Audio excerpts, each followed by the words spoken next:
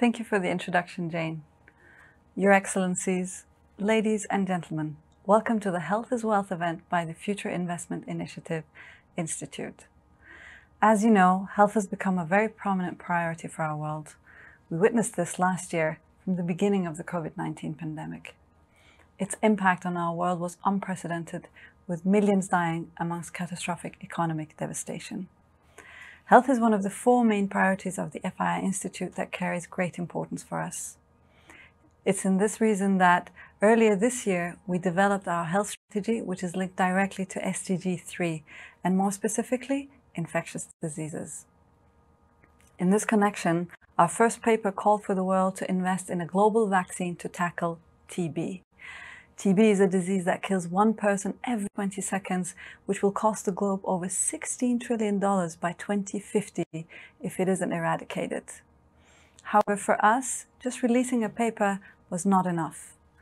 In our research, we noticed that one of the reasons that COVID spread so fast was because of the lack of data. We then decided to develop a unique tool that captures both endemic and epidemic diseases. For example, our tool also reflects the readiness and the vulnerability of country systems in terms of medical staff, beds, and percentage of population with basic immunization.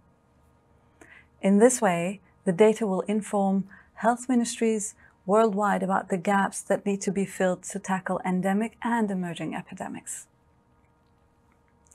After several months of deliberation and working with like-minded partners, we arrived at the Global Infectious Disease Index. The index showcases dual impact of the endemic disease burden and epidemic disease threats across 204 countries and territories. The endemic component of the index showcases the burden from five global endemic diseases. I think we all know what they are by now. We have HIV, malaria, TB, lower respiratory diseases, and diarrheal diseases.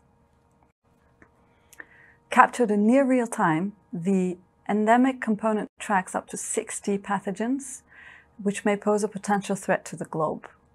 The index provides an objective, quantitative, and comparable measure for infectious diseases, thereby enhancing the situational awareness to effectively prepare, respond, and mitigate global health threats. Now, ladies and gentlemen, as a Dane, I would like to take you to Denmark, where I would like to showcase you the level of endemic diseases and display that to you on our index.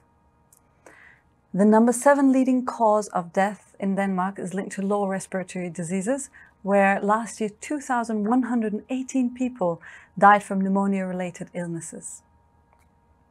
As you can see from our overview, lower respiratory infections are marked as being high in Denmark.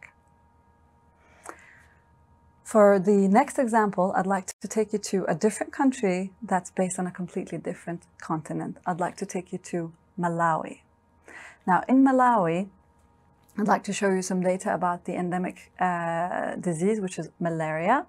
Here you can see that the number of medical, uh, medical and support staff is only 0.5 and this can give us an indication of the burden of dealing with malaria, which is quite high in the country.